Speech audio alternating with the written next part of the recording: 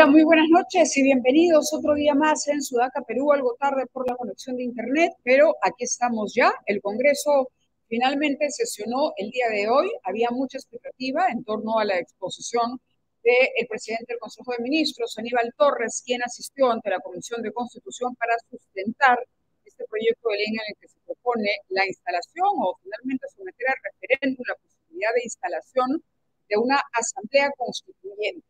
Los problemas están complicándose, complicándose porque ante la falta de la construcción de una oposición, si bien es cierto lo de la asamblea podría no pasar, no pasaría por porque hay muchos congresistas a los que no les conviene, en términos prácticos, eh, ni siquiera por convencimiento de, razonable, por, un principio, ni mucho menos, sino porque no les conviene que haya una asamblea constituyente. El doctor Oscar Ubiola aparece como uno de los asesores o de las voces consultadas o por consultar en la Comisión de Constitución. Nos acompaña esta noche, doctor Urbiola. ¿Cómo está? Muy buenas noches. Mávila, muy buenas noches.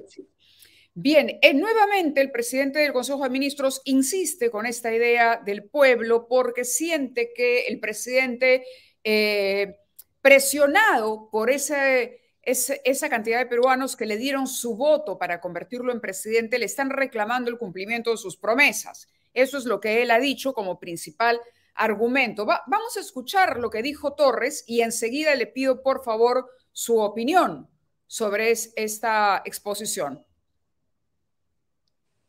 Nato del pueblo. ¿Por qué se puede decir que no es?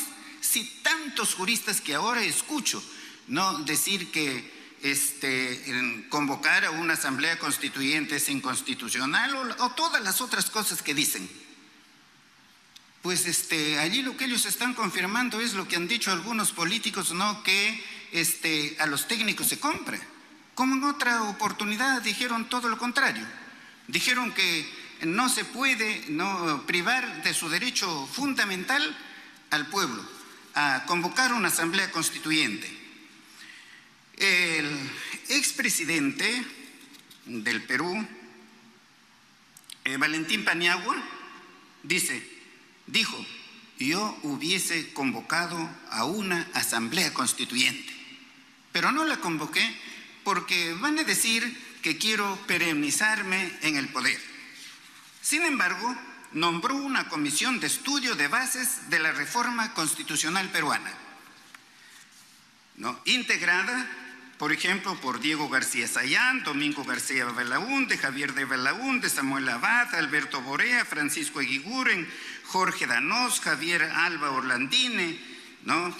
Eh, Samuel Abad y, una serie ¿no? de constitucionalistas del más alto nivel, por lo menos en ese momento. Todos llegaron a qué conclusión? Llegaron a la conclusión de que es posible convocar a una asamblea constituyente. O si no, eh, decían a convocar a un referéndum para este, consultar al pueblo, por supuesto, sobre si es posible. Eh, si es que el pueblo desea, si es que el pueblo desea una asamblea constituyente. Bueno, nuevamente el argumento del pueblo. El doctor Urbiola nos hace un análisis de lo que ha ocurrido el día de hoy. Eh, sabemos que su posición, doctor Urbiola, es de no, decirle no a esta, porque además lo considera ilegal. Pero, por cierto, en el público, en, en estos lugares a donde el presidente va, el presidente impulsa esa idea. ¿Y usted qué presume que está ocurriendo? Que están tratando de generar una corriente de opinión que es un elemento distractor, que realmente el gobierno está empeñado en un cambio de la constitución con afanes de perennización. ¿Cuál es el análisis que haría? Bueno, aquí habría que este, tener una perspectiva política que eh, no puede estar desligada de la perspectiva jurídica o constitucional. En la perspectiva política, eh, eh, Mávila, tenemos que tener en cuenta, primero, la afirmación del presidente en múltiples ocasiones, incluso en su última presentación ante el Congreso de la República, ya había este, eh, dejado de lado esta, esta iniciativa de convocar a una asamblea constituyente. Y lo, lo dijeron, me parece que el mismo eh, presidente del Consejo de Ministros, Aníbal Torres, manifestó esta situación.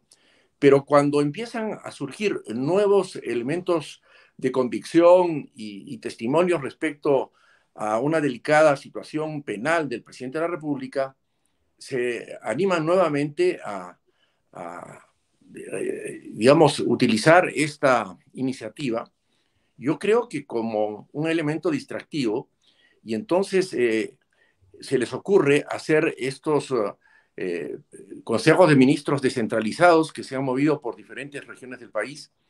Y durante la sesión de la Comisión de, Constitución, un congresista pidió que se pasara un video en el que intervino el gobernador regional del Cusco, donde manifestó la forma como se habían realizado estas reuniones del Consejo de Ministros con eh, personas que estaban debidamente registradas, pero que pareciera eh, eh, eran este, de, tendencia cercana a Perú ¿eh?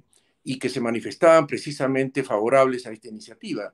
Lo que nos hace pensar de que efectivamente aquí hay una intención política de levantar esta bandera de la Asamblea Constituyente para tapar esta situación delicada del presidente Castillo, eh, sabiendo incluso, y lo ha manifestado el Premier hoy día en el Congreso de la República, que si el Congreso no aprueba esta iniciativa, no va a pasar nada y van a acatar.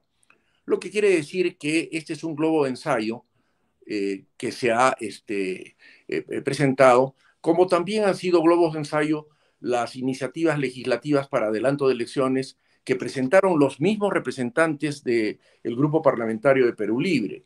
De tal manera que esto eh, eh, hay que tomarlo con cuidado, pero desde mm. la perspectiva eh, jurídica y constitucional, este es un proyecto inviable y, las razones se las puedo dar ahora si, si usted Por quiere. Favor.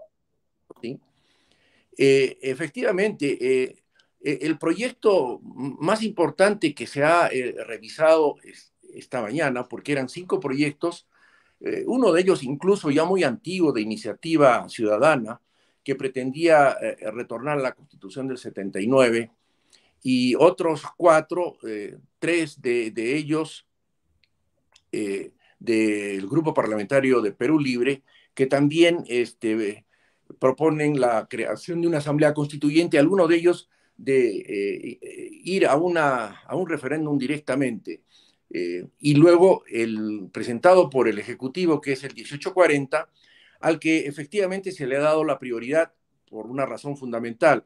Los proyectos de ley, tanto de, iniciativa en reforma constitucional como los proyectos de ley en legislación ordinaria, tienen preferencia cuando vienen del Ejecutivo.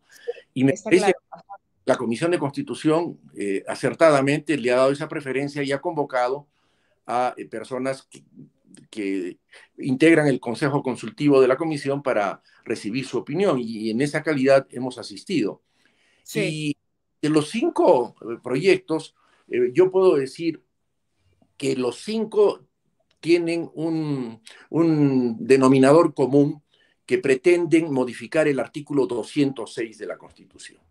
Y al respecto Ávila, quiero mencionar que en mi eh, opinión el artículo 206 de la Constitución ostenta ah, una doble naturaleza. Por un lado, sustantiva y por otro lado, procesal.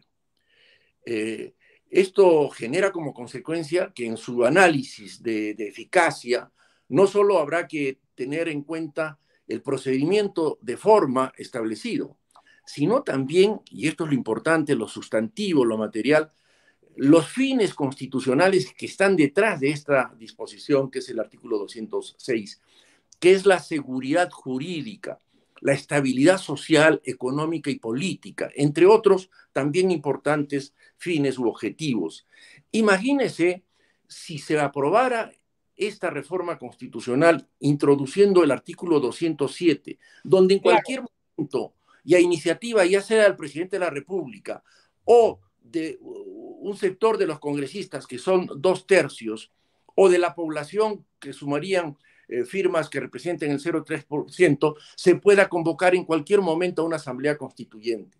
Las asambleas constituyentes son la última razón, ya la medida para salir de una situación irregular que, que se caracteriza porque no hay Estado de Derecho, para salir de dictaduras y regresar a la democracia, como han sido siempre las asambleas constituyentes y las más recientes, la del 93 y la del 79, para salir de los golpes de Estado del 68 y del golpe de Estado, el autogolpe del 92. Esas son las asambleas constituyentes.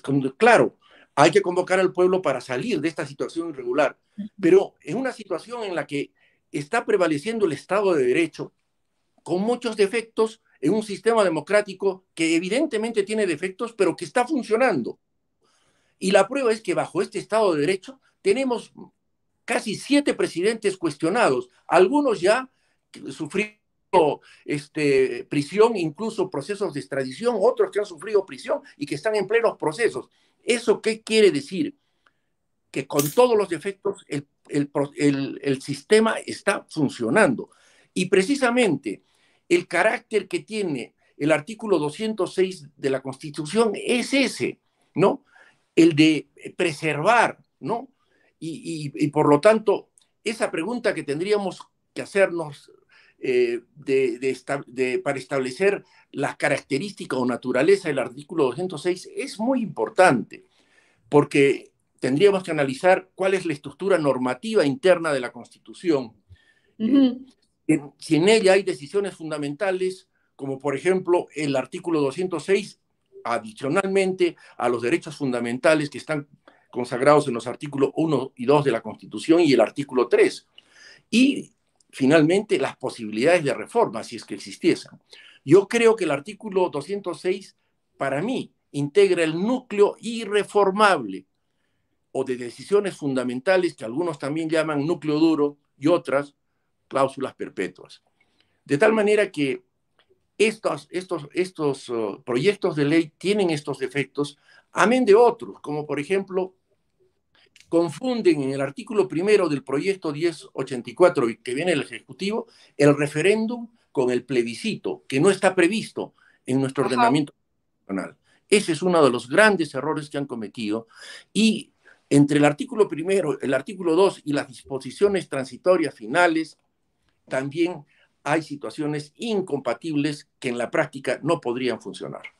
De acuerdo. El otro día conversábamos con el, doctor Vargas Valdivia y él proponía cambios en la Constitución que eran importantes, dado el contexto en el que nos encontramos, el temor, la falta de confianza que tiene la ciudadanía, en la que evidentemente cualquier proyecto de ley que emane del Ejecutivo, que pretenda transformar, modificar la constitución, precisar cualquier cosa, huele mal, ¿no? Los peruanos estamos en desconfianza absoluta con el gobierno que tenemos. No tiene un respaldo, cualquier iniciativa está bajo sospecha. Y él decía algo interesante, que, la, que el camino de pronto para, para, de alguna manera, frenar este tipo de impunidad que está rodeando a muchos representantes del, del Ejecutivo y también en el Congreso era la modificación de los años de protección que tienen los funcionarios públicos una vez que dejan el cargo y que por ahí sí se podría empezar una modificación. Yo le preguntaba, por supuesto, por el caso Karelín López y las investigaciones de este tipo y la suspensión de la investigación fiscal. Quería preguntarle si usted estaría de acuerdo en que, por ejemplo, se, se perdiera estos cinco años de protección que hay después de que un ministro deja eh, el cargo para ser parte de un proceso y lo mismo que en el caso del presidente. ¿Sería un avance? Bueno, eh, es solamente el derecho al antejuicio, Mávila. Exacto. Eh, es solamente el derecho al antejuicio que no significa impunidad. la Constitución establece que determinados funcionarios como son el presidente de la República, ministros de Estado, los magistrados del Tribunal Constitucional, ¿no? Este, hasta cinco años después de eh, cumplido su, mandato, están sujetos al antejuicio por los uh, delitos de función, más no los otros. Ajá. ¿no? De tal que eso eh, lo levanta el Congreso y, se procede a, su juzgamiento en la medida en que el, Congreso decida. Eh, es, una, es una protección, pero no de impunidad, porque eh, definitivamente sí tienen que responder por, por los cargos que se le atribuyen eh, y mm. que no funciona para los delitos que no sean de función. De tal manera que... Correcto, pero por ejemplo, en el caso del presidente de la República... Sí, sí. ¿Qué, pasa, por ejemplo? Sí. Mávila, en el caso del presidente de la República eh, hay una situación diferente y que está contemplada en el artículo 117, que eh, establece un sistema de inmunidad, podríamos decir, superior, por el cual no se le puede acusar al presidente de la República, eh, salvo que se trate de delitos que signifiquen traición a la patria, o que signifiquen este, impedir las elecciones generales o la reunión del Jurado Nacional de Elecciones, eh, ¿no? Para eh, impedir elecciones generales, regionales o, municipales, o, mm. eh, o, la del Jurado Nacional de Elecciones. De tal manera que solo por esos delitos se le podría juzgar durante su mandato. Por los otros delitos tendría que esperar que, que, cumpla su mandato, pero yo sobre eso tengo una opinión muy especial el hecho de que el artículo 117 impida la acusación del presidente por otros delitos que no sean los mencionados en el artículo 117, mm. No quiere decir que no se le puede investigar, Mávila.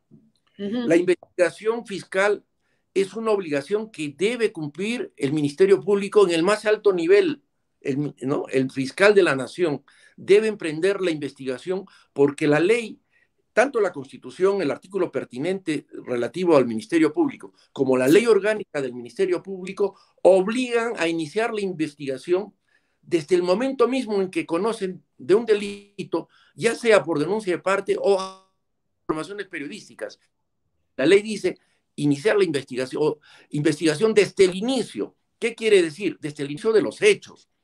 Ajá. Y la investigación no necesariamente conduce a la investigación la investigación puede terminar en eh, una decisión respecto a que no hay delito o que habiendo delito no hay responsabilidad del sujeto al que se le imputa. Por lo tanto, el no hacer la investigación más bien podría, este, mm, actuando de una forma de excesiva protección y de una forma por su omisión, admitiendo de que sí hay delitos, pero que no lo puede acusar. ¿Qué va a pasar respecto a los hechos que pueden desaparecer por el transcurso del tiempo? ¿Quién podría garantizar que todo esto se registre una investigación preliminar? Si es que es el caso, porque podría determinarse en la misma investigación responsabilidad, aun cuando los hechos se hayan producido, pero que respecto al presidente de la República no hay responsabilidad, eso puede ser. Claro, le, digo porque parecemos atrapados y, los comentarios que nos llegan de las personas conectadas al programa van en ese sentido. Estamos como atrapados. Hay indicios de corrupción en torno al presidente. Usted acaba de decir que esta idea de la Asamblea Constituyente podría funcionar como un distractor a ver si conecto al doctor Urbiola, podría funcionar como un distractor, precisamente cuando el presidente está eh, en un momento difícil, ¿no? La mayoría de los peruanos no confía en él, las cosas en el Perú no marchan bien, la gestión no es buena, hay sobrados, este, sobradas sospechas de corrupción. Por eso me atrevía yo a preguntarle por qué en el Congreso no se toman iniciativas como esa, por qué no se llama al fiscal, por ejemplo, al Congreso, si eso es posible, y se pregunta por qué ante la eh, evidencia que hay, el, el, señor este, Pablo Sánchez no reconsidera la decisión tomada por Zoraida Ábalos, por ejemplo.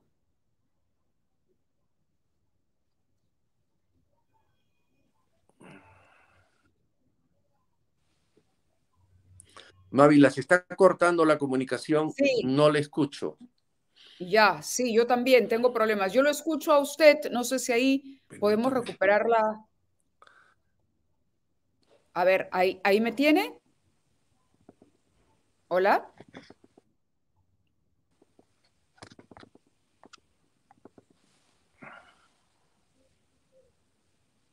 Uy, qué problema, estoy con él.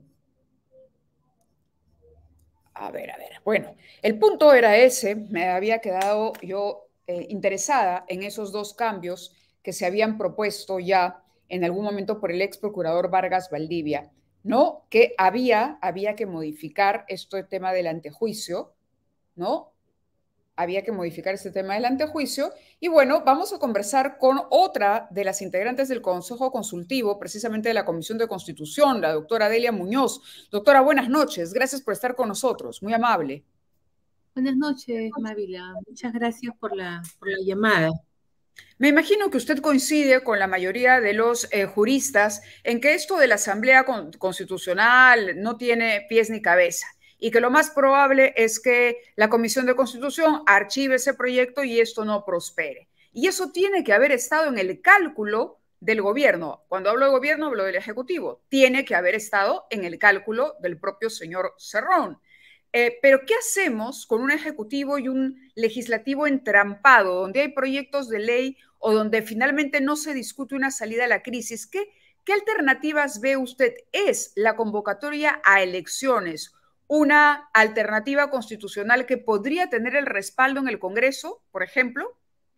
Bueno, varias, varias preguntas. Comenzamos sí, sí, por la este, Asamblea, por favor. Por lo de la Asamblea. En primer lugar, el presidente podría haber planteado la modificatoria del 206 y podríamos estar discutiendo si la cláusula lo admite o no lo admite, pero es un proyecto que tiene muy mala técnica legislativa porque lo que dice es, quiero cambiar para introducir una figura nueva y que eso se debe llevar a referéndum.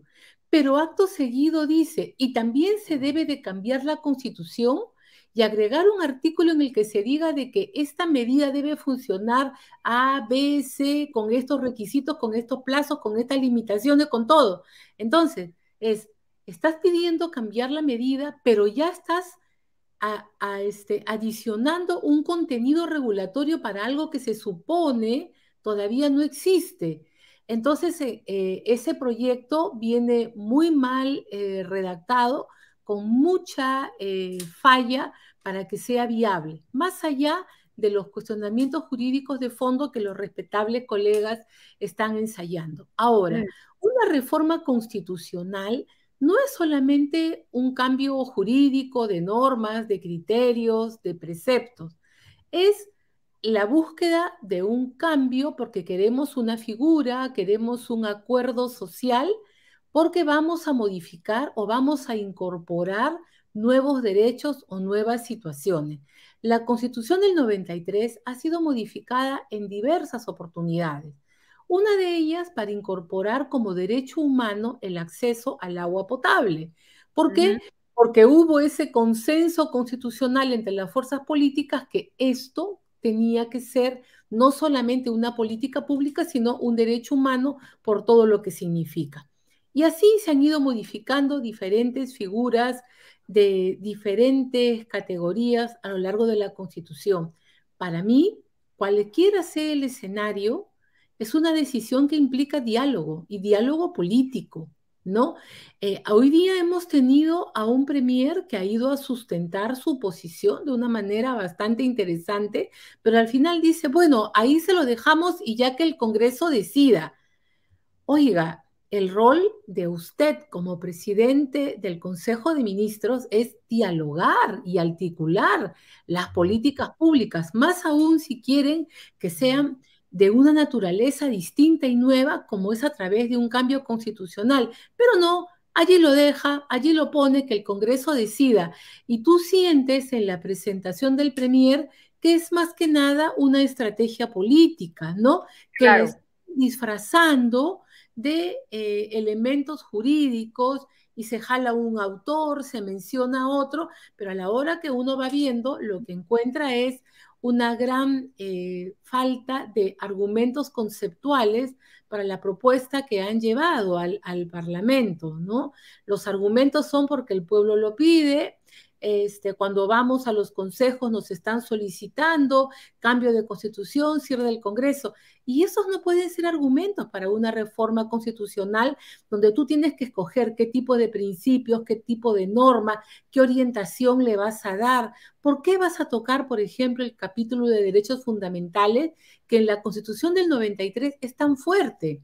Porque ese capítulo de derechos fundamentales viene con figuras que antes no existían, como es la Defensoría Pública, como garante del cumplimiento de derechos y con un tribunal constitucional como máximo intérprete de la Constitución y una figura más, con un candado de control constitucional abierto que nos permite ir a sede supranacional si es que los agentes estatales están vulnerando las obligaciones contraídas en tratados. perdóname la ignorancia, fueron novedades de la Constitución del 93 frente a la del 79, por ejemplo? Claro, la del 79 tenía un capítulo de derechos fundamentales y teníamos un tribunal de garantías constitucionales, pero en, la del 93 tenemos un tribunal constitucional autónomo que obliga absolutamente a todas las entidades del Estado. Y la protección constitucional viene con el habeas corpus, con el amparo, con la demanda competencial, con el habeas data, con la acción de inconstitucionalidad. Y a la par le pone a usted a una Defensoría del Pueblo para que tenga el rol de garante frente a los sectores públicos, ¿no? Que no había en el 79. No existía en la del 79. Entonces son dos grandes figuras que se incorporan y hay que debatir sobre eso, o sea, ¿por qué los vamos a cambiar por el rango de tratados? El candado de supervisión internacional lo vamos a dejar allí. Ahora, por ejemplo, otro tema que también se habla, se dice, el modelo, hay que cambiar el modelo económico porque los monopolios, los oligopolios, en fin, no quiero discutir eso. Pero vayamos a un tema, el Perú no es una isla, el Perú tiene 47 tratados de libre comercio con países y con espacios multilaterales que se sustentan en la libertad de comercio, que te permiten exoneración tributaria, que te permiten convalidar títulos, que te permiten hacer negocios directamente. ¿Cómo se va a manejar ese cuerpo de tratados internacionales en un contexto de reforma constitucional? No, ahora, estos tratados también tienen mecanismos de control supranacional a través de la OMS o a través del CIADI, si es que tú como Estado no cumples. La reforma va a preservar eso o nos vamos a ver envueltos en graves líos económicos. Para mí son por lo menos los dos grandes temas que se deberían de discutir y que yo no he escuchado nada esta mañana. Claro, interesante. El tema del monopolio y oligopolio, ¿en qué medida, claro, que afectaría, eh, usted dice, de cambiarse esta constitución, el Perú pasaría a estar en una situación eh, complicada porque ha suscrito convenios de cooperación de distinto tipo, tratados de libre comercio, se ha adherido, ¿no es cierto?, a conjunto, a otros conjuntos de países en determinadas, para apoyar determinadas causas, bajo estas reglas de juego. Eso podría cambiar eventualmente y podría aislar al país, que es lo que parecería ser eh, el tono que maneja el gobierno con este proyecto no solamente aislarlo, que ya de por sí es bastante delicado, podría llevarnos a situaciones donde tengamos que responder económicamente por las decisiones inadecuadas o las nuevas situaciones que se estén planteando, ¿no? Mm. Tenemos mecanismos de solución de controversias, por ejemplo, en el Tratado de Libre Comercio entre Perú y Estados Unidos, que son mecanismos directamente de ministerio a ministerio tenemos otros tratados que establecen otros mecanismos de, correlación. Entonces, ¿qué cosa va a pasar ahora? El Perú es un estado que a través de los años se ha venido insertando mucho en la comunidad internacional.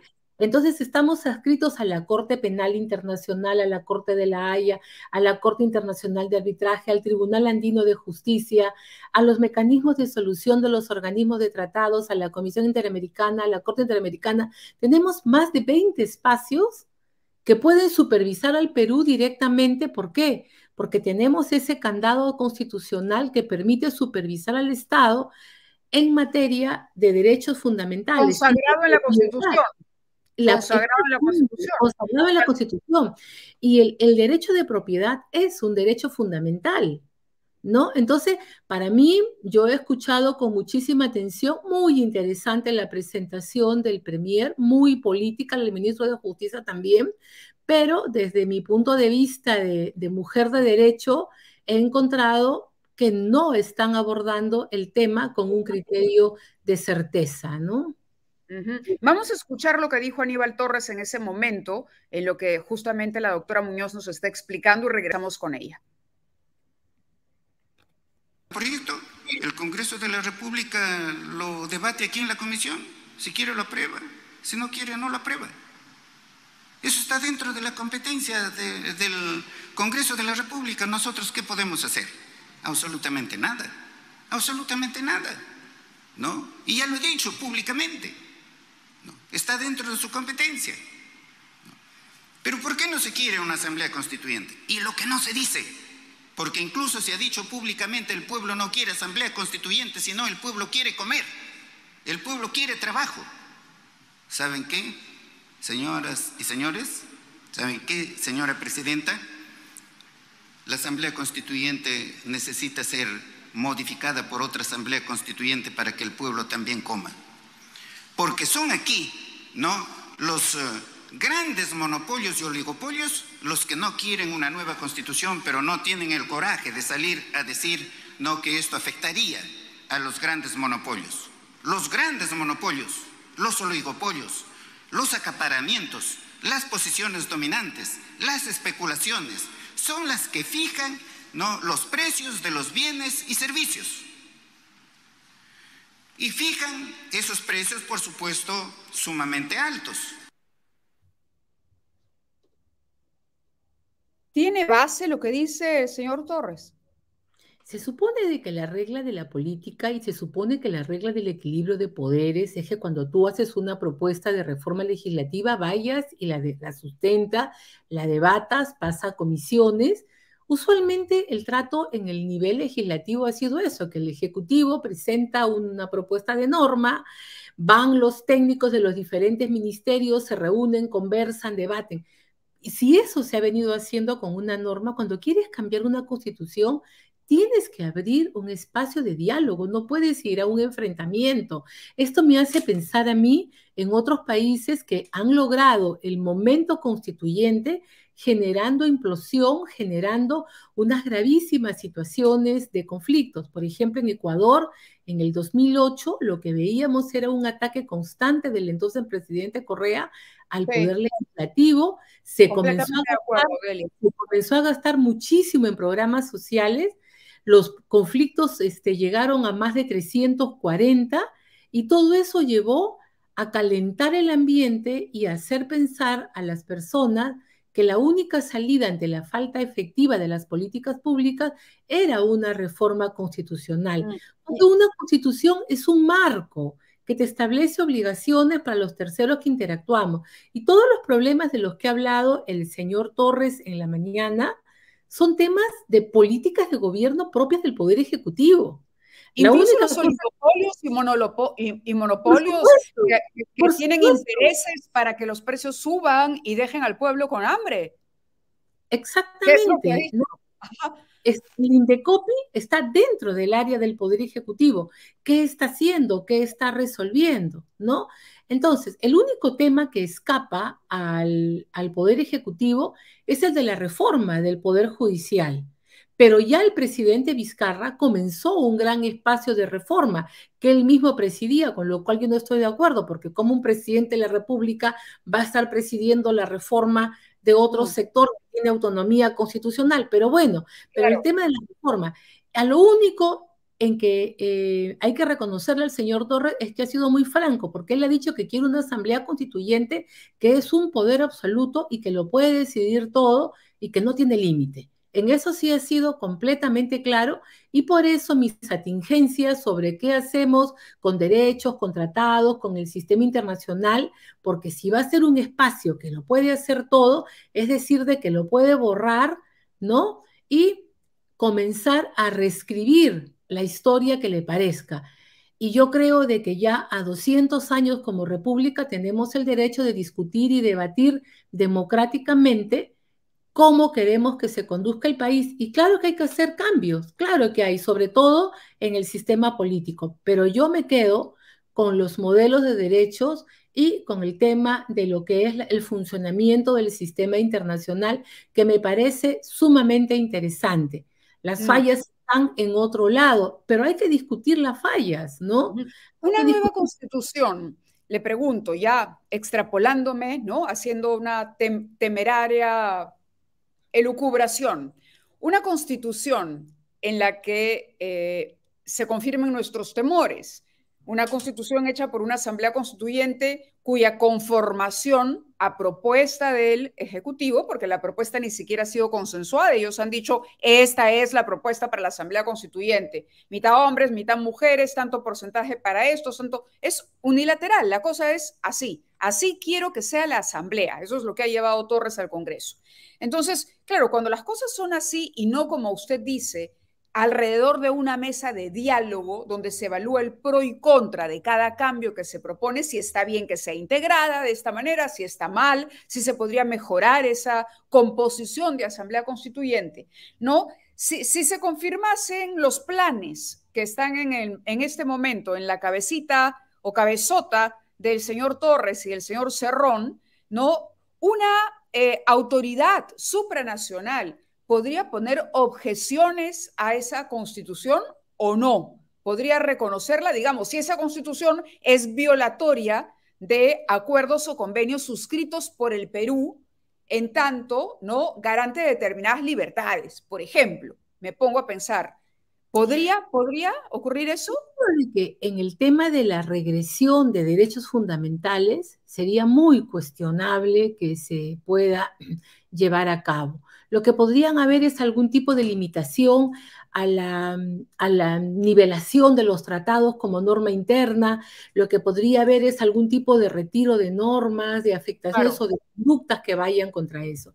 Pero fíjese usted, Mávila, que en el mundo, en América Latina no es el único lugar en el que se cambian constituciones. Europa viene cambiando sus constituciones, sobre todo porque tienen que incorporarse a la Unión Europea y acoplar a sus pretextos los estados que ingresan. Entonces, en, Europa se creó un espacio que se llama la Comisión de Venecia, que no es un espacio que emite imposiciones, sino que emite opiniones, que acompaña y que está abierta para dar asesoría a cualquier país que desee hacer cambios, ¿no? Entonces, ¿Por qué no se va a ese espacio si no se confía en el Congreso? ¿Por qué no se les convoca, se les pregunta sobre los temas más saltantes? Es un espacio que está abierto para que cualquier Estado pueda recurrir donde eso y apoyan con expertos, ya que no confían en los nacionales, ¿no? Claro, pero la Comisión de Venecia seguramente no está eh, en el radar del gobierno que cree que el pueblo tiene el poder y la sabiduría plena. Claro, es como que yo soy parte del pueblo, igual que usted, pero yo tengo un conocimiento aislado del derecho. Hay muchas cosas que yo no, no conozco. Entonces, hacen falta que vengan diferentes personas con diferentes criterios a ayudar a armar esa estructura. Yo como parte del pueblo no me puedo arrogar la representación ni la voz de todas las mujeres de mi generación, ni la voz de todas las mujeres del Perú, ni la voz de todas las descendientes de Cajamarquino porque no es real, ¿no? Entonces hay que tener muchísimo cuidado. Yo lo que he visto es un diálogo único buscando polarización, ¿no? Un diálogo en apariencia muy educado, de mucho sometimiento al Congreso, pero un diálogo estratégico para polarizar la situación y polarizar al pueblo, para polarizarnos entre nosotros. Ahora, dígame usted, este, Mávila, dentro de qué categoría caeremos nosotros para votar, ¿no? Dentro de los independientes, dentro de las organizaciones políticas, dentro de los pueblos indígenas o dentro, eh, ya, eh, afro, este, este, peruanos de repente no, caemos, ¿no? Pero este, si nos hacemos el ADN, pues nos van a encontrar a todos el 5% de afrodescendientes. ¿Cuál es el porcentaje? A eso iba, claro. ¿Cómo, cómo hace un, un, claro, digamos, una persona afrodescendiente eh, pero que milite en un partido político, ¿lo representa el partido o se representa a él en el grupo de afrodescendiente? Es que esa es una visión realmente bastante discriminatoria de las, de las cosas, ¿no? Porque uno de los grandes avances de la sociedad occidental ha sido de que todos los seres somos iguales y a una persona un voto. Y lo que hemos venido desarrollando en las últimas décadas es de que hay sectores vulnerables, como los pueblos originarios, por ejemplo, ¿no? Y es por eso que en nuestro país ya tienen una cuota de participación. Y esta cuota es mayoritaria en aquellas zonas donde los pueblos originarios tienen una presencia importante. Entonces nosotros hemos ido realizando, igualmente las mujeres hemos sido por años población vulnerable lo seguimos siendo, por eso que ahora hay ley de paridad y podemos tener 50 este, congresistas. Entonces son las normas que se van empujando para proteger a los sectores que lo requieren. ¿No? Entonces, pero, por ejemplo, acá se plantea una posibilidad de que participen independientes o de que participen de comunidades indígenas. Por ejemplo. en los independientes están todos los que no cuadran o los que no caben en ninguna de las anteriores, digamos, como se decía en los exámenes de ingreso hace mucho tiempo a la universidad. Está A, B, C, D, ninguna en las anteriores. ¿Con cuál se identifica usted? ¿Militante de partido? No. ¿Afrodescendiente? No. Este, ¿Indígena vulnerable? No. Entonces, en otros, estoy en otros, ¿no? ¿Y, cómo va a ser eso, no? Para eso, para permitir la participación en general del pueblo, es que nuestras normas electorales permiten que tú no puedes postular necesariamente por un partido político, que puedes formar una alianza, que puedes formar un movimiento regional, que puedes formar un movimiento vecinal, donde los independientes podemos agruparnos para ver, pero para la representación nacional sí se piden partidos políticos, ¿por qué? Porque se tiene que tener cierto orden. y dentro de orden han establecido normas de protección para ciertos sectores.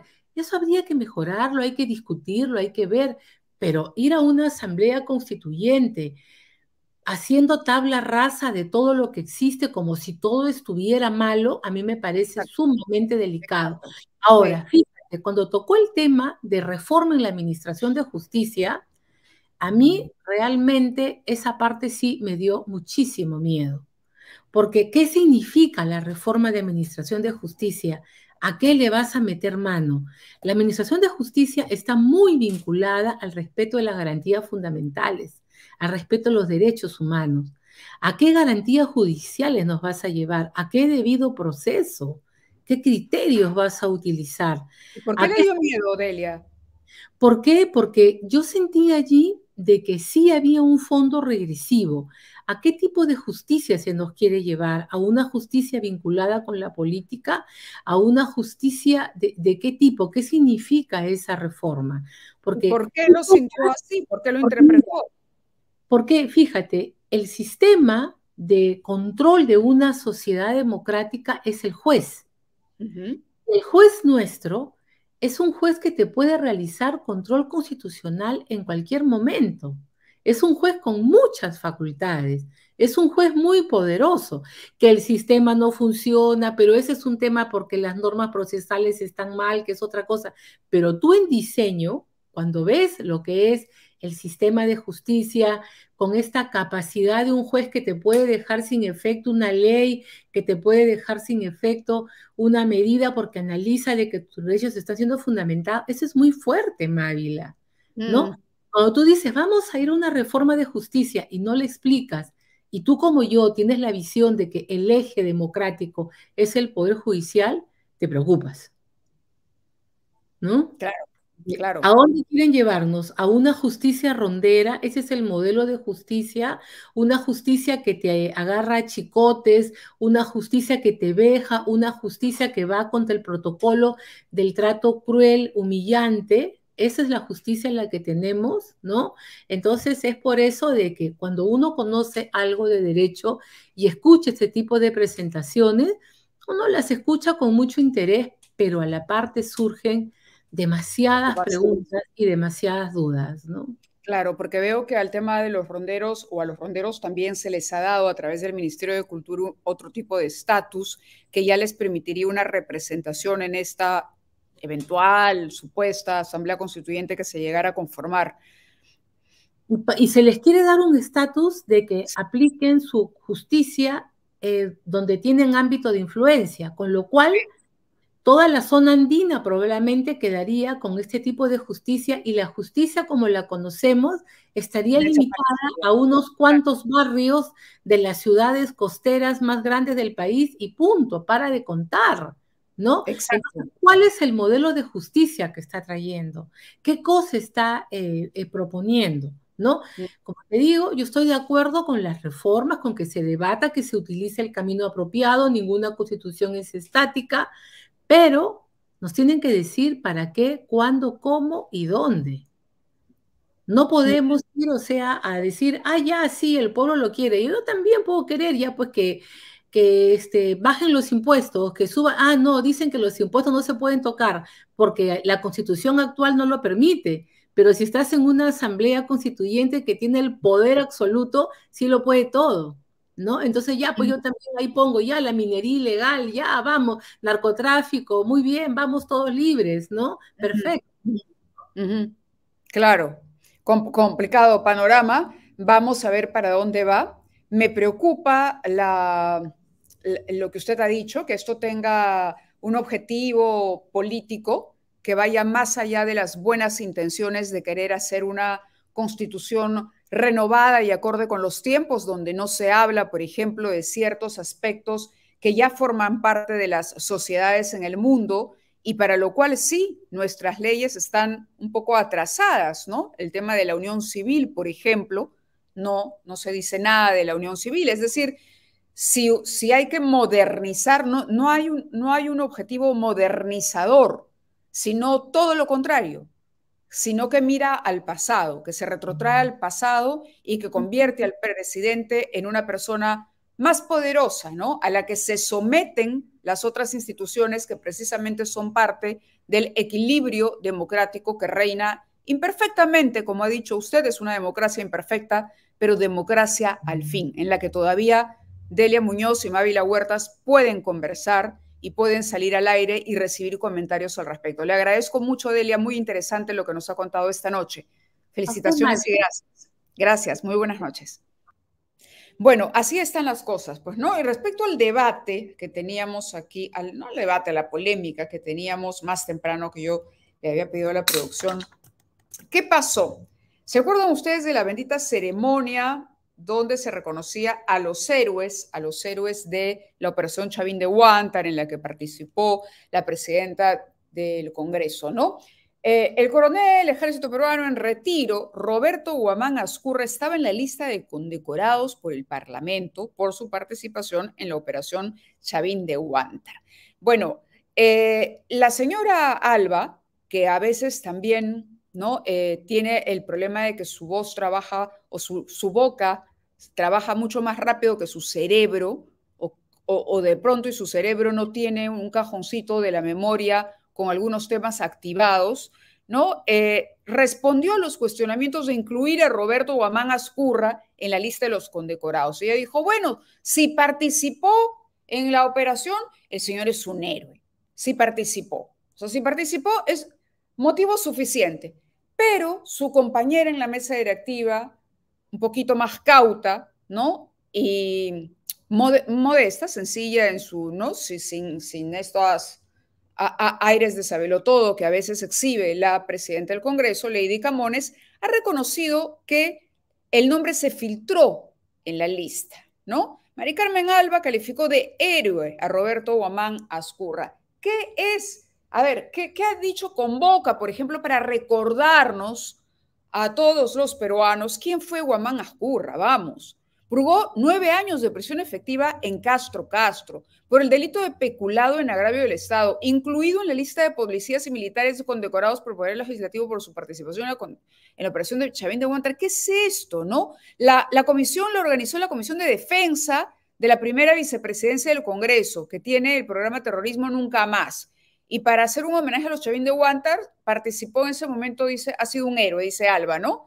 Pero, pero ¿de qué estamos hablando? A ver, les recordamos quién fue Guamán Ascurra, que acá justamente estábamos corriendo para revisar esa información. Sobre Guamán Ascurra, cada entrevista era cuidadosamente preparada, no solo en contenido, sino en la manera en que la cámara podía captar mejor el soborno. ¿Les recuerda algo esto a los Vladivideos? Les recuerda el papel de productor que tenía Guamán Ascurra de los Vladivideos del señor Montesinos, ¿se acuerda usted? ¿No? Cada entrevista era cuidadosamente, no solo en contenido, sino en la manera en que la cámara podía captar mejor el soborno. Así se demostró como una de las cintas divulgadas por el juez Peña Farfán, en la que el coronel Roberto Guamán Escurra, brazo derecho de Montesinos, instruye al empresario Luis Venero sobre qué debe decirle al parlamentario opositor del Frente Independiente Moralizador Ernesto Gamarra. En la cinta se observa que Guamán, antes de la cita, oficia de director de escena, mete la cámara y yo recuerdo perfectamente eso, estaba eh, camuflado en macetitas, si no me equivoco, indica dónde debe ubicarse Venero en el momento de entregar el dinero para que el hecho sea mejor percibido por la cámara oculta. O sea, el coproductor de Montesinos en los Vladivideos era o es para la señora Alba este, un héroe. Y acá hay un comunicado del Congreso de la República que dice, el Congreso de la República no invitó, recibió o reconoció al coronel Roberto Guamán Escurra. Invocamos a los medios de comunicación a informar con estricto apego a la realidad de los hechos. De esta manera, fortalecer nuestro sistema democrático. El Congreso de la República se reafirma en su actuar transparente en la defensa del respeto a los derechos de los ciudadanos. Hace la aclaración firma, bueno, Lima es el Congreso, el comunicado. Pero, ¿y entonces la señora Alba estaba enterada o no estaba eh, enterada de este tipo de información cuando respondió, cuando le, responde sobre la lista que aparece para la condecoración a un reportero que le pregunta por el señor Guamán Oscurra? ¿Ah? ¿Acaso ella responde como responde este comunicado que hoy hemos leído y que ha aparecido hoy en Twitter. Entonces, ese es el problema. Liderazgos que no conocen la historia del Perú, liderazgos que no se preparan, en fin, cosas, cosas este, de esas que dicen que solo se ven en el Perú, ¿no? Solo se ven en el Perú y que por eso el, el Perú no es un país aburrido porque todos los días pasan cosas raras, ¿no? La respuesta de Camones está acá cómo llegó la embarra según informó, ahora vamos a la parte que dice Camones y con esto terminamos. En comunicación con un diario, la primera vicepresidenta Camones reconoció que fue un error haber incluido el coronel en la lista de condecorados. Sin embargo, detalló que esta fue entregada a un representante de los comandos Chavín de Guantar al despacho del parlamentario José William Zapata, titular de la Comisión de Defensa y Orden Interno. Esta idea de homenaje a los comandos sale del despacho de William Zapata pero él también era parte de la operación, no podía homenajearse a sí mismo, entonces no pidió ayuda. Nosotros desde la oficina le hemos dado apoyo logístico. La relación la enviaron desde su oficina. Camones indicó que los coroneles Carlos Elías y Wilmer Bustins, asesores del despacho del congresista, fueron los que hicieron las coordinaciones. Ellos refieren que la lista se la alcanzó un representante pero a pesar de que le hemos solicitado el nombre de esta persona, hasta el momento no se indica. La primera vicepresidenta señaló que Guamán Ascurra no asistió a la ceremonia y tampoco se le entregó nada. Ha habido un error en el sentido de incluir a esta persona en la lista. Hemos advertido esto casi al final, no se le ha entregado nada. Bueno, así están las cosas, ¿no? La trayectoria siniestra de Guamán Ascurra, ¿no? En fin, en fin, los dejamos, nos pasamos unos minutos, habíamos entrado tarde con ustedes, problemas de conexión, pero mañana, 7 y 30, en punto, acá, en Sudaca, Perú. Gracias por estar con nosotros. Hasta mañana.